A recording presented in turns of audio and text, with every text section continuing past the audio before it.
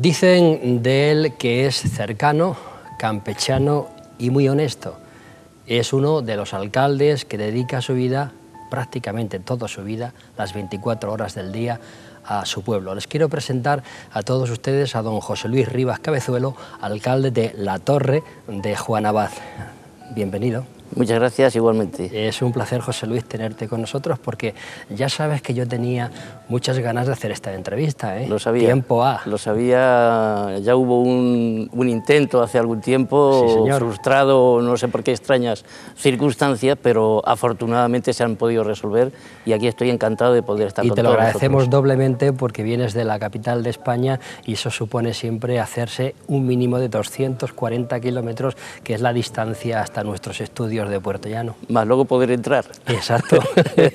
bueno, de entrar siempre ha sido una odisea y en tu caso no iba a ser menos, ¿verdad? Efectivamente. Eh, José Luis, eres un alcalde vocacional. Bueno, yo no sé qué es eso de ser alcalde vocacional. Yo creo que el tema del servicio, de... es posible que sí que lo lleve uno en la sangre. Eh, yo ya estuve, y no, ni muchísimo menos puedo negar la evidencia de yo he estado en política muchos años, estuve en Getafe, concejal, eh, teniente alcalde durante 12 años, eh, mm, salí cansado y eh, a través de unas conversaciones, varias conversaciones con don Nemesio Lara, presidente de la Diputación, y con un paisano mío, vecino además de Puerto Llano, Tomás Ballesteros, finalmente me convencieron para iniciar esta aventura que debo decir que ha sido grata, cansada, pero muy grata. Porque tú eres nacido en Torre de Juanabaz. Yo soy nacido en Torre de Juanabaz hasta los 18 años en que, pues, como casi todos en aquella época, eh, hubo, tuve que emigrar y he estado muchísimos años eh, fuera. Es verdad que no he perdido el contacto porque yo tenía mi casa y he seguido yendo, viniendo a Torre de Juanabaz eh, durante todos estos años, pero mi trabajo, mi familia, eh, sí la he tenido fuera, pero soy torreño de pura cepa, que se puede decir. Y, a mucha honra. Y a mucha honra. Y a mucha honra. Eh, José Luis, ¿y a qué te dedicas aparte de esa...? A nada más. Nada más. Nada más. Eh, yo tenía una, una empresa que se dedicaba al sector inmobiliario. En 2007 vino abajo prácticamente, en 2008 cerró, con 14 personas que tenía la empresa y desde entonces soy un una persona a la espera de su jubilación, soy un autónomo que paga sus cuotas pero que no recibe nada del Estado. La verdad es que haces un gran sacrificio, ¿no? porque tienes que, compaginar la familia que está en Madrid, más luego tus funciones de alcalde en La Torre. Sí, es complicado, es complicado y precisamente esa es una de las cuestiones que me esté llevando a mm, replantearme la posibilidad de poder representarme de nuevo, porque es... Em, es un esfuerzo enorme, sobre todo por la pérdida de contacto. Yo ya tengo un nieto eh, y quiero disfrutar con él. Eh, tengo dos hijos que están empezando ahora con distintas labores dentro de sus trabajos y una mujer a la que tengo que eh, dedicar tiempo y que mm, lo pierdo, en, bueno, lo pierdo, lo invierto en, en, en otras... En favor de los torreños. En favor de los torreños. ¿Eso algún día se te agradecerá? No es mi intención. los torreños? No es mi intención. Yo la única preocupación que tengo es eh, poder hacer durante el tiempo que esté lo máximo que pueda y esa es mi intención. Yo no, no, no, no me preocupa ni, ni las próximas elecciones ni, el, ni que en el futuro me dediquen una calle. No, no, no es esa mi, mi, mi, intención ni mi, ni mi forma de trabajar, ni, no, no, no, no, tiene nada que ver ni, ni lo espero siquiera. Eh, José Luis, ¿por qué eres del Partido Socialista Obrero Español? Bueno, pues yo creo que todas las personas somos de algo por alguna circunstancia que, que nos ha llegado a lo largo de nuestra vida. A mí me llegó un libro de Pablo Iglesias, Pablo Iglesias Pose. Sí, sí, evidentemente. Eh, es que hay que matizarlo, hay que matizarlo en estos tiempos que corren. Efectivamente, pues me llegó, me cayó en mis manos, eh, yo tenía entonces 21 años, 22 años, y cayó un libro sobre los discursos de Pablo Iglesias en el Congreso, que eh, despertaron un poco mi eh, mi ideología, mi, mi, sensibilidad o lo que fuera. Y a partir de ahí empecé a, meterme en los fregados universitarios. Eh, yo eh, trabajaba entonces de camarero, entonces, bueno, de camarero, antes se llamaban, lo que ahora se llaman DJ. Sí, sí, sí. entonces llamaba, yo era, estaba de, trabajar, trabajaba de camarero y pinchadiscos, que era lo que entonces se, se decía. Y, bueno, empecé a meterme en toda la movida universitaria, en, eh, todos estos temas. Eh, eh, y coincidí en una de las manifestaciones con una persona que era del Partido Socialista, entonces en la ilegalidad. y en octubre, noviembre, previo a un congreso, no sé exactamente cuál de ellos era, que se realizó en diciembre del 1976, esta persona eh, me invitó a, afiliarme, bueno, y al final me fui a un pisito oscuro y clandestino que había en aquella época cerca de la Puerta de Alcalá, eh, esta persona era Virgilio Zapatero, eh, perdón, Virgilio Zapatero, Virgilio, Virgilio Cano, ves que venía oyendo por el, claro, no es que está de actualidad en estos Venía oyendo por el camino la, la, visa black de, Virgilio Zapatero y me ha llevado a la confusión. Virgilio Cano, que además curiosamente también eh, era de Villanueva de los Infantes. Y a partir de ahí pues ya empecé mi vida en, dentro de la política y de hecho una de las cuestiones que yo siempre digo ahora respecto de lo de los políticos. Eh, yo trabajaba cuando entré de concejal en el 79, yo trabajaba en John Deere Ibérica, la empresa de tractores en, Getafe, eh, ganaba eh, por aquel entonces 75.000 pesetas. cuando hubo que nombrar a los, y ganamos las elecciones en el 79, y había que nombrar a los concejales liberados, eh, como en mi casa había dos sueldos, eh, se decidió en la reunión de grupo que, eh, como entraban dos sueldos, que uno de ellos tuviera que fuera yo de las personas liberadas. yo ganaba 75.000, como decía, y empecé ganando durante año y medio 25.000, luego al año siguiente 38.000, creo que fueron... y así durante... Igualé el sueldo al cabo de los dos años y medio, igualé el sueldo de los 75.000. Eh, lo digo por lo que se está viviendo ahora y eh, cuando se habla de que todos los políticos son iguales, de que todos los políticos son que no, corruptos, esto, es, esto, es, imprevisible, esto es imprevisible que no lo esperaba. No, esas son las cosas que ocurren en, en el directo. Estamos en directo, no pasa nada. Eh, con lo cual, yo creo que hay de todo y merece la pena que se sepa que hay políticos que viven para las personas, y que eh, se están dejando la piel, se están dejando la, vida, se están dejando el dinero por trabajar por la comunidad.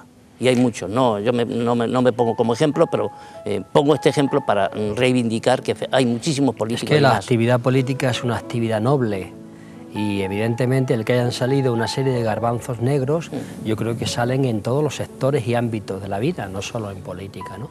José Luis, si mm. volvieras la vista atrás, ¿volverías a hacer las mismas cosas? Sí, sí, sí, sin duda.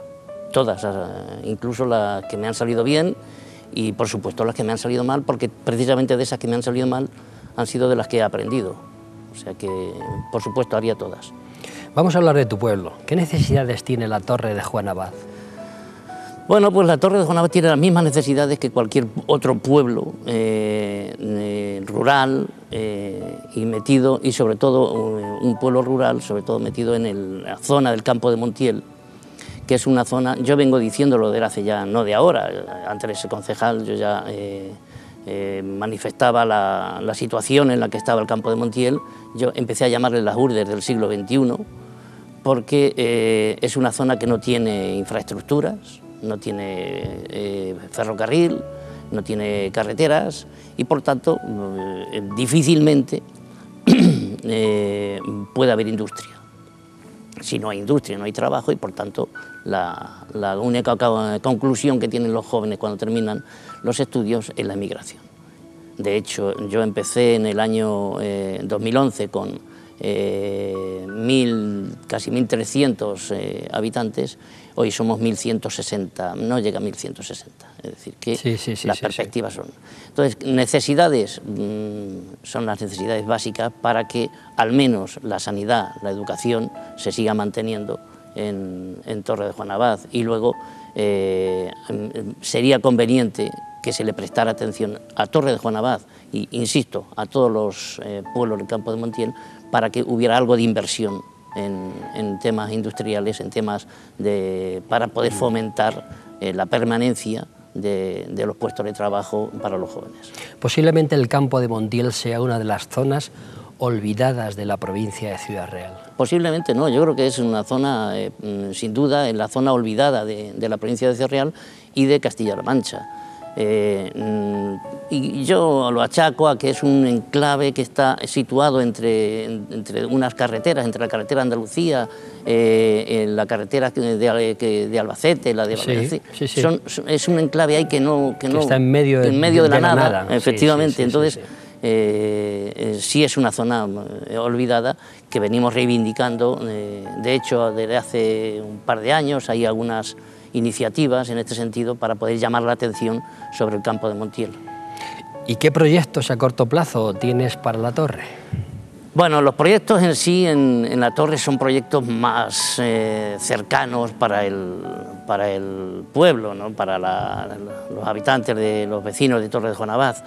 Eh, hace poco se ha eh, acondicionado el, el, polideportivo. El polideportivo que había era un polideportivo que se usaba para todo de hecho, llamaba la atención que en los partidos de fútbol que se jugaban, los chavales, que fue lo primero que me llamó la atención y por eso mm, decidí que eso había que solucionarlo, los chavales para jugar al fútbol se echaban Coca-Cola en las zapatillas. No me digas. Sí, porque era un suelo absolutamente mm, de cemento, entonces se escurrían, se mataban. entonces, para no poder escurrirse, habían, me llamaron la atención que había botellas de Coca-Cola que las echaban en el suelo pisaban y se dejaban que se secara para, claro, así se oía el, sonido, ¿no?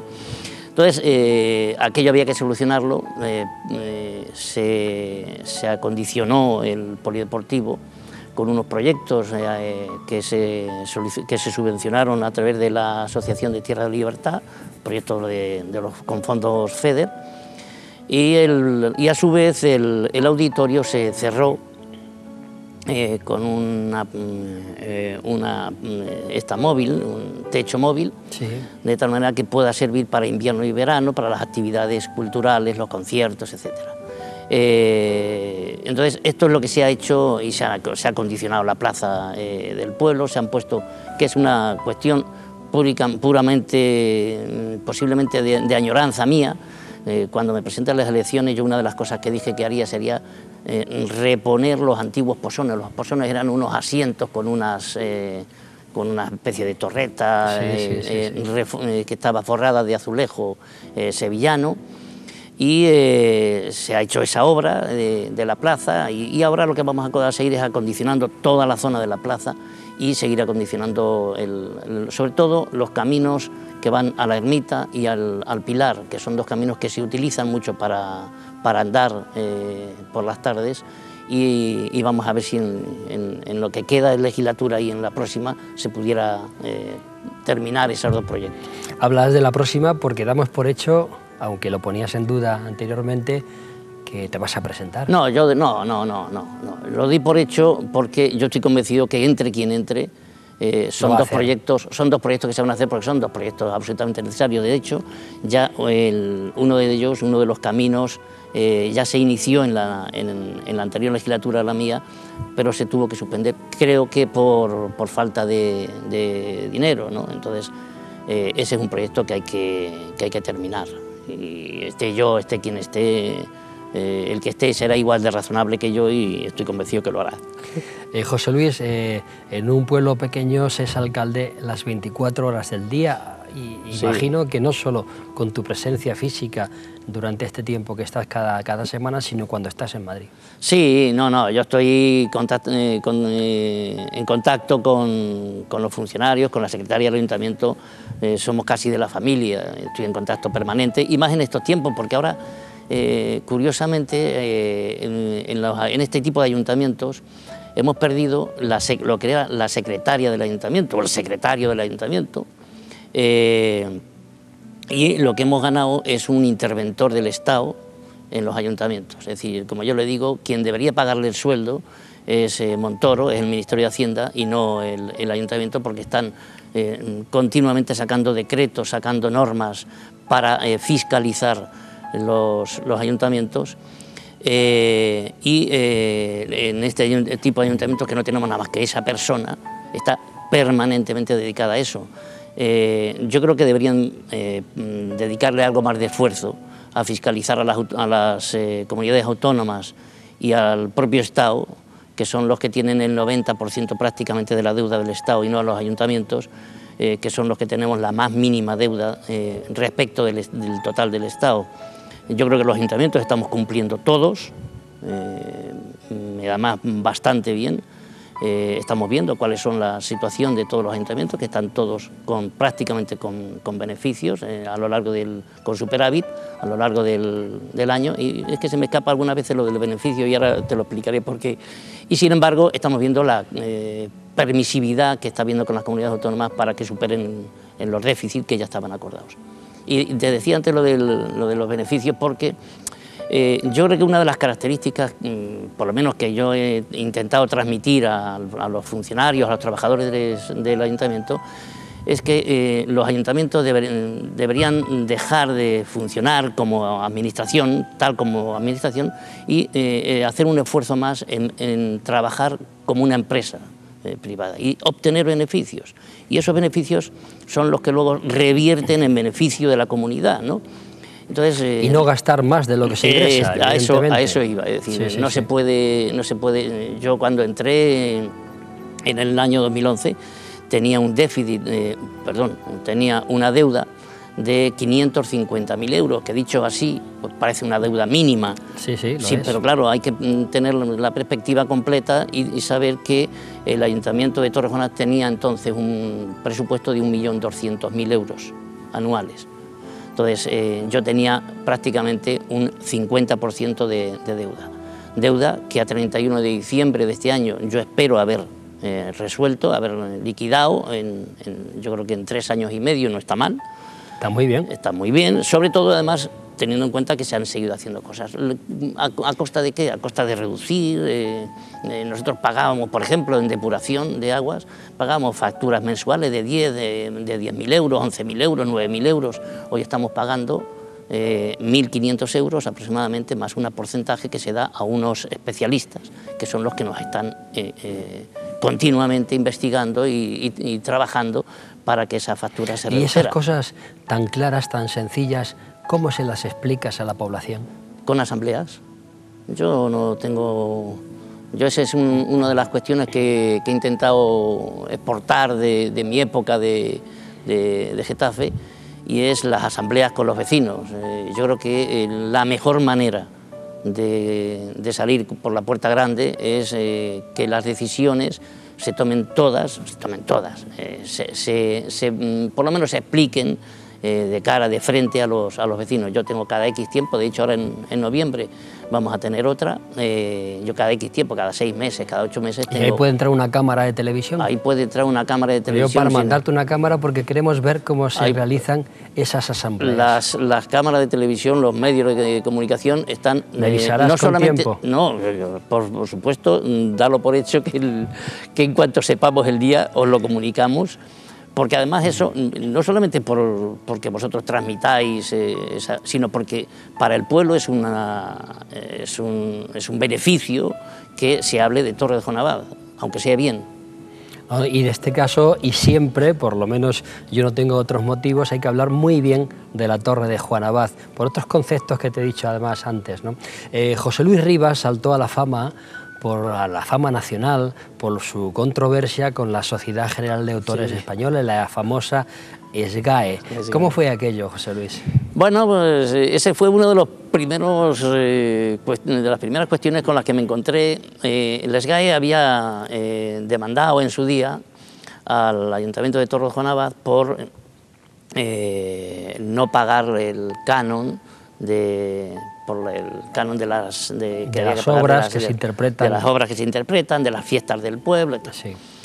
y cuál fue mi sorpresa cuando en el escrito aunque ellos luego decían que no pero en el escrito que presentaron eh, al, juzgado eh, cuando hablaban de las fiestas eh, y de las cuestiones que tenían que pagar que pagar el canon de las GAE se hablaba de los conciertos de órgano y se hablaba de la eh, romería de la Virgen. Entonces, eh, claro, el, que el Ave María eh, que se canta en, la romería de la Virgen o tenga que, pagar derechos de autor, que pagar derechos de autor, pues, eso, que nos, pareció, nos, pareció, curioso y entonces comentándolo con una, con una amiga de, de F, pues a partir de ahí ya saltó el tema. La verdad es que fuiste un alcalde muy valiente, porque esta gente va con una prepotencia y una chulería y una altanería inconcebibles hoy en día. Sí, sí, sí, sí. Y, y, me, tuve que, me tuve que enfrentar con esa chulería varias veces. Lo que pasa es que yo tenía claro que, nuestra, que al final, si la, la cuestión no era tanto el, el, que había que pagar o no pagar, sino el, el, detalle de hasta dónde llega la SGAE para, claro, hasta dónde llegaba, así fue, así pasó. Claro, no, ahí está el ejemplo que han dado a nivel nacional de corrupción interna. Exacto, exacto. Entonces, eh, fue, fue una, una, metedura de pata, yo creo que jurídica suya, que no supieron eh, resolver de buena manera por esa altanería que, a la que hacías mención y que eh, yo creo que les perjudicó a efecto. Lo que pasa es claro, este tipo de sociedades mm, ni ganan ni pierden, ellos eh, van a lo que van. Hoy en día eh, siempre ha sido así, pero hoy más que nunca hay una serie de sociedades entre la que está no solo la SGAE, sino la AGEDI y la AIE, que lo que quieren es vivir del cuento y del sudor de los demás. Exacto. Así de sencillo. exacto. Eh, Torre de Juanabaz es muy conocida por los famosos conciertos de órgano, así como, como por los congresos sobre Quevedo. Sí, eh, hombre, sobre los conciertos de órgano eh, había su duda de que cuando entrásemos el nuevo equipo de gobierno se siguiera manteniendo el apoyo que tenía el ayuntamiento a este tipo de conciertos. Hay que decir, porque yo creo que es muy poco sabido, que eh, no cuentan con ningún tipo de ayuda y que todo el presupuesto va con cargo al presupuesto municipal. Tiene mucho mérito, ¿eh? Tiene mucho mérito, eh, sobre todo porque es un, no son conciertos eh, de, un gran número de, oyentes, son una, una, minoría muy selectiva la que acude a este tipo de conciertos, pero entendimos desde el primer momento que eh, no era tanto eh, la inversión en, los conciertos, sino como la inversión en el nombre que se le estaba dando a Torre de Jonabad, y creo que acertamos. Yo creo que sí, pero imagino también que siempre tendrías de la mano a la Diputación y a nuestro amigo Nemesio. Bueno, no, eh, hubo como algunos tipo, algunas ayudas, los, yo creo que los dos, tres primeros años, por parte de la Junta y por parte de la Diputación. Yo desde que entré en el 2011 no había ningún tipo de ayuda para este tipo de conciertos. Eh, el año pasado, de los 25 eh, conciertos, creo que se dieron, eh, uno fue financiado por la Diputación y este año, de los 28, 27 conciertos que se han dado... Que se dicen pronto, ¿eh? Sí, sí, sí. No, no, hay que tener en cuenta que, es que son en, el mes de mayo aproximadamente y se inicia el ciclo de conciertos sí, sí, sí. y termina ahora dentro de dos semanas terminan, es decir, que están, terminan a finales de octubre. Entonces, eh, son muchos conciertos eh, y hay un esfuerzo, insisto, un esfuerzo grande. Y... Hay un esfuerzo y una dedicación del alcalde, porque el alcalde lo consigue eso solito. No, no, no, no, no. En el tema de los conciertos debo decir que no. En el tema de los conciertos, quien lo consigue la financiación sí, la financiación la buscamos nosotros, pero el esfuerzo mayor lo está llevando un cura, eh, el cura de, urbano, eh, que es el cura de la iglesia de Nuestra Señora de los Olmos, que es un verdadero amante de su, de su órgano, como él, como él le dice, y, es el que inició todo este tema, el que eh, potenció que se pudiera hacer la reconstrucción del órgano y que eh, hoy tengamos esa maravilla de, de instrumento que es el órgano, que es un órgano que está con el 99,9% de sus piezas. Y yo siempre he preguntado qué pieza es la que le faltaba, ¿no? porque nunca me lo Para completarla. y, y, esto es respecto de los conciertos de órgano.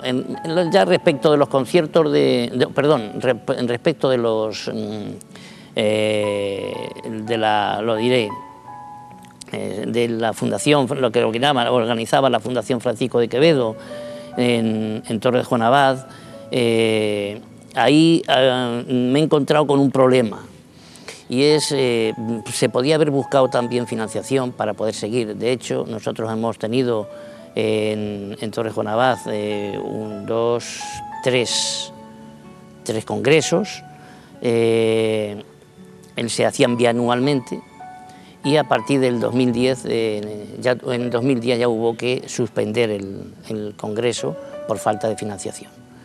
Ya ni la Junta, ni la Diputación, ni el Estado, que eran eh, los máximos, junto con la Fundación, eran los que eh, financiaban el 90% del, del, Congreso. Y hubo que suspenderlo, ya digo, por falta de... Y a partir ya del 2011-2012 eh, voluntariamente no he querido eh, continuar. Eh, bueno, he seguido buscando financiación y ha sido imposible, pero no hemos hecho lo mismo que podíamos haberlo hecho, porque el coste hubiera sido, el coste es menor, no hemos hecho lo mismo que con los conciertos de órgano. ¿Por qué? Porque ahí me encuentro en una disyuntiva. Yo soy presidente vitalicio de la Fundación Francisco de Quevedo, que es la que organiza los congresos. Y no he querido mezclar churras con merinas. Porque eres muy honesto. No, no, no, porque me parece lo normal. Es decir, que, hombre, también podíamos haber delegado en el vicepresidente, que es a su vez con el director de la Casa de Quevedo, de, allí de Torrejón Abad, pero mm, a mí me parece que no. Que, como lo decía antes, hay que salir por la puerta de. por la puerta, como de hoy, hoy oía al presidente de la COE de madrileña decir que quiere salir por la puerta, no por la puerta grande, quiere salir por la puerta normal. Bueno, pues yo me conformo con salir por la puerta normal. Tú vas a salir por la puerta grande, José Luis. Eh, la gente no sabe, pero lo vamos a repetir con mucho cariño, que la torre de Juan Abad es la tierra de don Francisco de Quevedo y Villegas. Sí. ¿Qué podemos ver en la torre de Juan Abad, José Luis? Pues se puede ver mucho, mucho y además muy desconocido lo primero que se puede ver y que en poca, en poca gente y en pocos sitios se sabe, yo creo que incluso no se sabe ni en la propia administración, es que Torre de Juan tiene, después de la Biblioteca Nacional, posiblemente eh, la mejor biblioteca, tanto en bibliografía como documental, sobre Francisco de Quevedo. Ahí se han unido eh, los propios eh, bienes que tenía la, Fundación con lo que eh, ya tenía el propio ayuntamiento. Insisto, tenemos la mejor biblioteca en respecto de Francisco de Quevedo, tenemos su testamento, su tintero, su sillón. Luego tenemos en la parte documental, tenemos toda la historia del señorío de Quevedo, desde que empezó hasta que terminó. Eh, hace mm, aproximadamente unos 10 años eh, la Fundación adquirió todo el, archivo documental de la familia Quevedo eh, y, aquello fue una mm, maravilla porque ahí hay de todo, de todo con firmas autógrafas de Quevedo, con, en fin, con, mucha, mucha historia sobre Quevedo que se desconoce, insisto.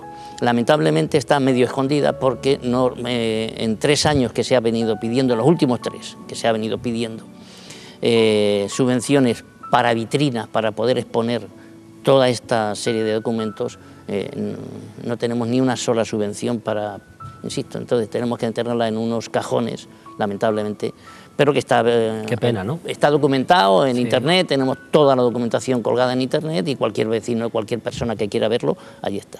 Eso respecto de la eh, bibliografía o los documentos. Y luego está la Casa de Quevedo, eh, que está reformada, en donde hay pues, salas de exposiciones, de hecho ahora en estos días hemos visto, hemos podido ver en el patio de, la Casa de Quevedo una performance de, un eh, escultor eh, de Torre de Jonabad, José María Guijarro, un director de, arte alemán y, una bailarina coreana, en una eh, experiencia nueva que estamos, hemos empezado este año y que querí, quisiéramos que se pudiera seguir transmitiendo para el futuro, porque yo creo que eso le daba a dar relevancia mm, al, propio municipio, que es eh, esta performance que se ha estrenado en, Torre de Juan Abad, el, sábado pasado, se reestrena en Düsseldorf, en Alemania, el día 20.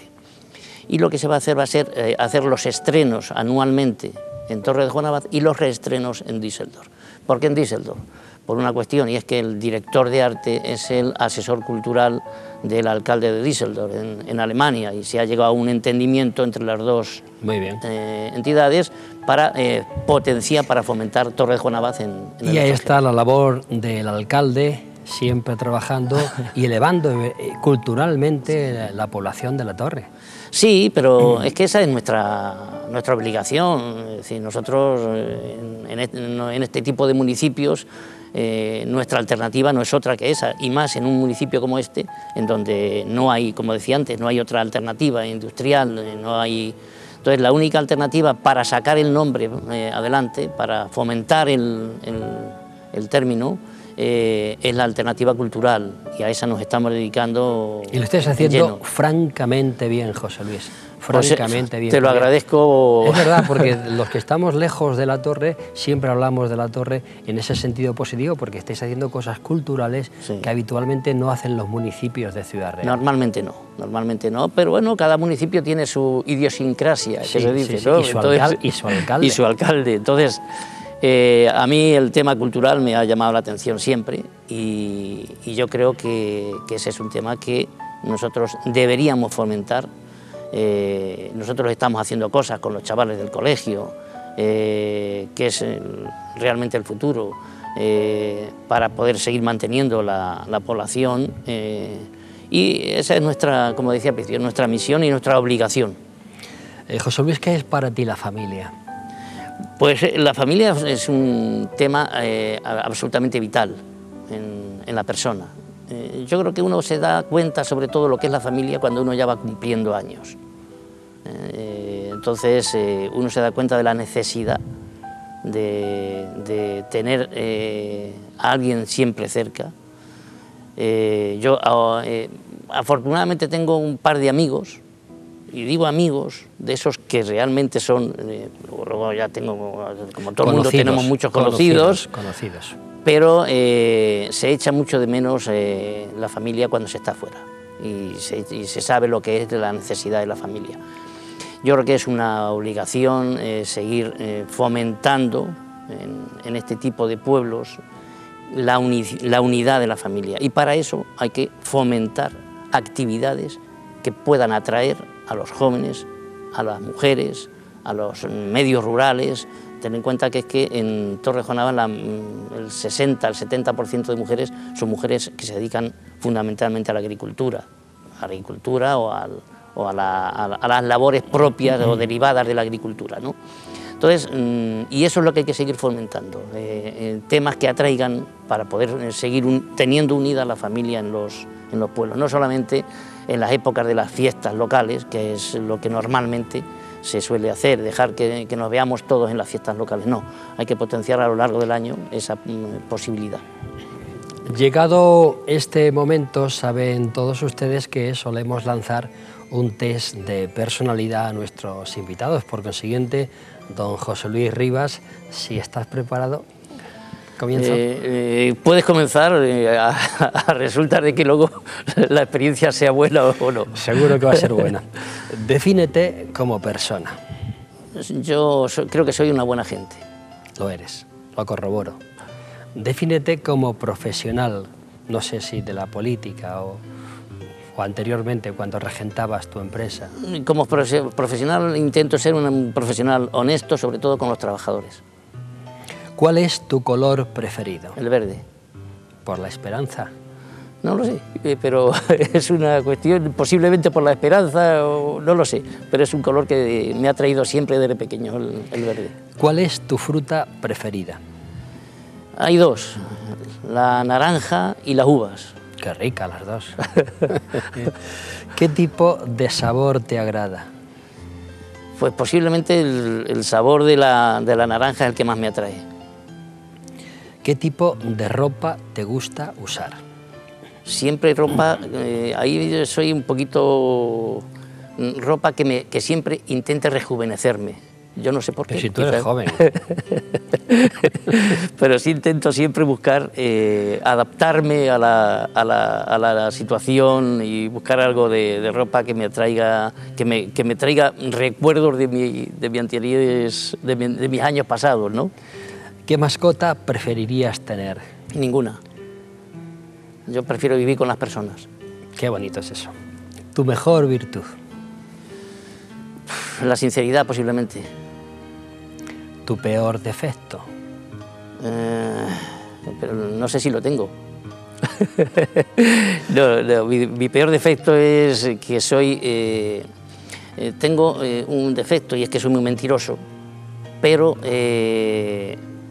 por el, mero hecho de saber de disfrutar luego con la persona cuando le digo cuál es la verdad. Entonces es un juego. es un juego, sí. Es un juego. ¿Tu comida favorita? Algo que, algo que sea de cuchara. Por ejemplo. El, cocido, las judías con perdido.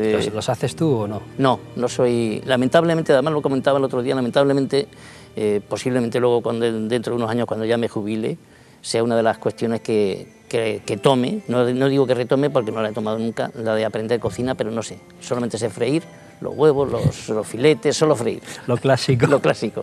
Yo tendré que ir un día a comer un cocido a, la torre contigo. Sí, bueno, ahora te lo haré si quieres porque ahora ya con la tur, con la turmi esta, la máquina esta, con echarle cada gramo, cada gramo que te, va diciendo, efectivamente ya es muy sencillo. Un libro. Eh, un libro. Mm, me quedo posiblemente con uno de Quevedo. Como no podía ser de otra forma. Que es el, Buscón. Claro, un clásico. Una película. Amarcor. También muy de Fellini. de Fellini. Un actor y una actriz. Eh, Silvana Mangano. Y en actor, eh, ahí ya me pilla... Mm, eh, hay uno nuevo, hay uno nuevo, uno mm, actual que me sigue gustando todavía mucho, que es Antonio Banderas. Un político. Felipe González. Una ideología. Eh, la socialista, la liberal, no, soy no soy excesivamente ideólogo en este tema.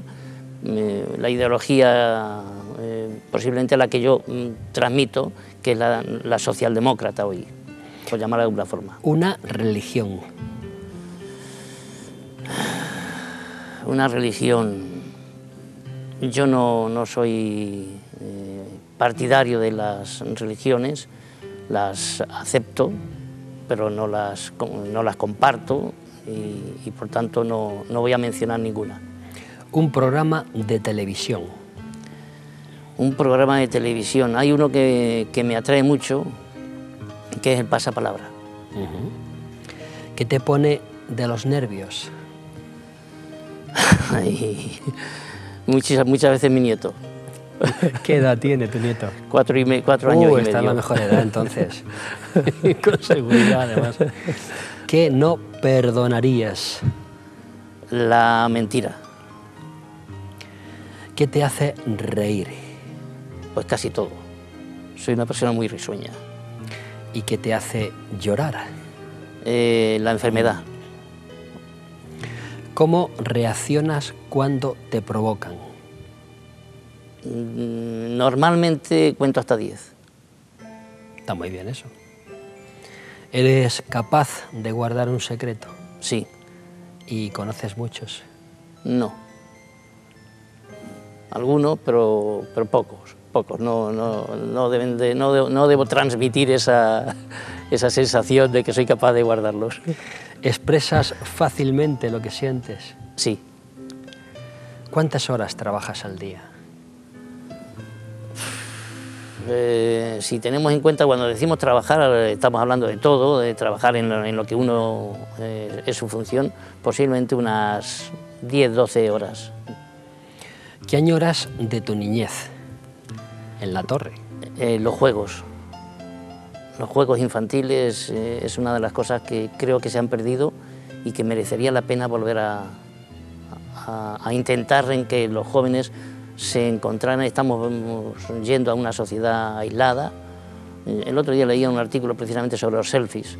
Eh, y esto, mm, y yo creo que es verdad, nos está llevando a una sociedad en la que nos estamos eh, aislando del resto y habría que intentar dar un empuje a este, en este sentido para volver a, tener los juegos infantiles en los que se pueda mm, vivir, sobre todo este, en, los pueblos. Yo entiendo que en las capitales, en las ciudades grandes es más complicado, pero en los pueblos es todavía posible.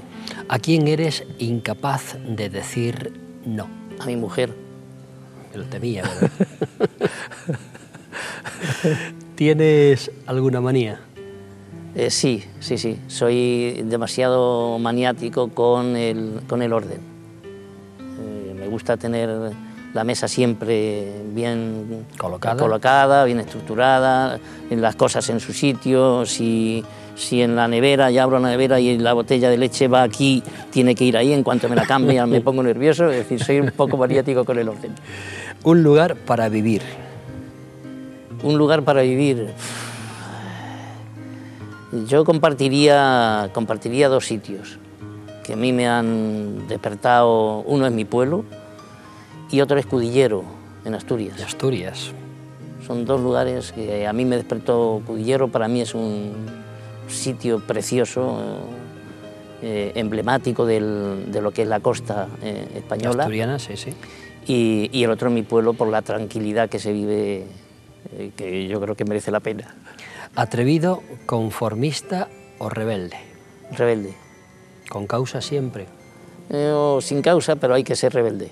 Eh, yo creo que esta es una de las cosas, yo tengo dos hijos, uno de 37 y otro de 27 prácticamente, y están iniciando ahora políticamente sus... Y, aunque no, no, cuadra con mi eh, sentir en, estos momentos, pero entiendo que los jóvenes tienen que ser así, entonces hay que ser rebelde siempre, aunque sea sin causa. ¿A qué edad te convertiste en hombre? Yo creo que todavía no, me ha llegado ese día.